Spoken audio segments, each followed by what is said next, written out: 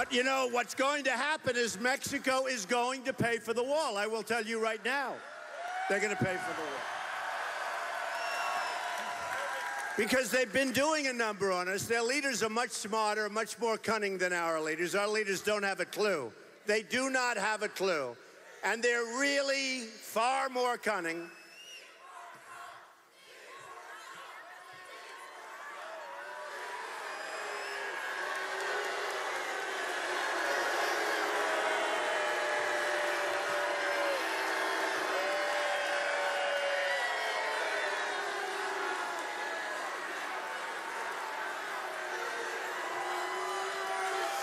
Get out of here.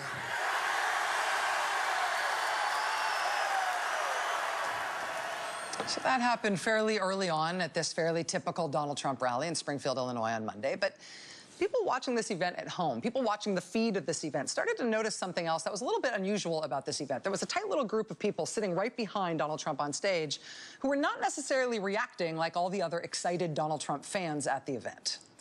Uh, and then people watching started to notice this one very poised young woman who was calmly reading flipping pages in a book that she was reading right behind Mr. Trump as he continued with his speech. Who is this woman? What's going on here? Um, some Donald Trump fans at one point interceded with her, and there was an interaction or two that, that didn't look all that pleasant. Uh, they ultimately roped in another person sitting near them to start complaining about this young woman.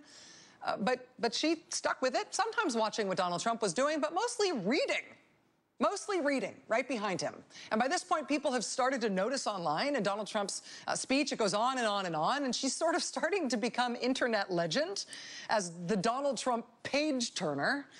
And then the Donald Trump rally in Illinois it ends, and the Donald Trump supporters lead to their feet, and they're clapping and waving their political signs.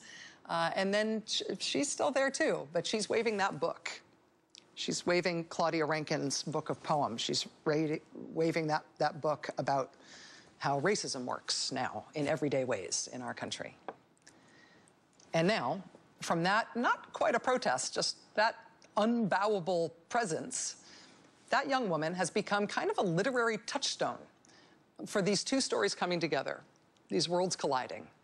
And not just worlds colliding accidentally, but this young woman bringing about that collision herself quietly, on purpose, in a way that drove people absolutely nuts. Who is she? Well, she joins us now for the interview. The young woman who was captured on camera behind Mr. Trump reading Claudia Rankine's book, Citizen, Johari Osayi Idusuyi. Uh, Ms. Idusuyi, thank you very much for being here. It's a real pleasure to have you. And when you had that interaction that we've you've shown tonight between the people who were sitting nearby you, who seemed um, uh, confrontational or annoyed with you or something, what was going on there and, and how did you feel about that?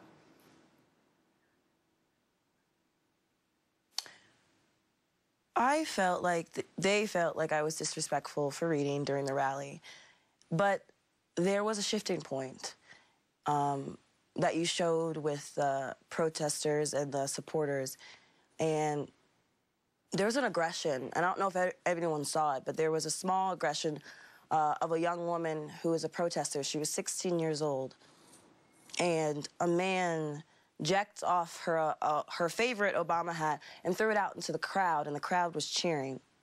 And me and my three friends were disgusted because, yes, protesters have every right to protest. If they're going to be escorted out, let them be escorted out, but they don't have to be disrespected, not by you.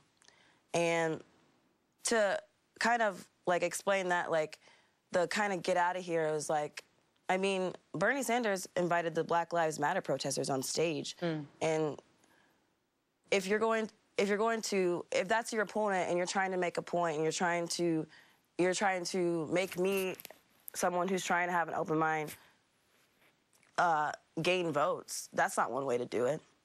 And so I was more disgusted by his supporters and um, how how how um, how it just kind of he let it happen. He kind of egged it on because it also there was this incident in Florida with his supporters where his supporters were violently um, his protesters I'm sorry were violently dragged out of one of his uh, uh, rallies, and incidents like that uh, are bullying and they're not needed and they shouldn't be supported. So I was 30 minutes into the speech and I was like, okay, I came here because I wanted to see, I wanted to see, I wanted to see this man and I wanted to try try to have an open opinion about him. And after I saw those incidents, I felt uninterested and I didn't feel like this is what I came for and I felt disappointed.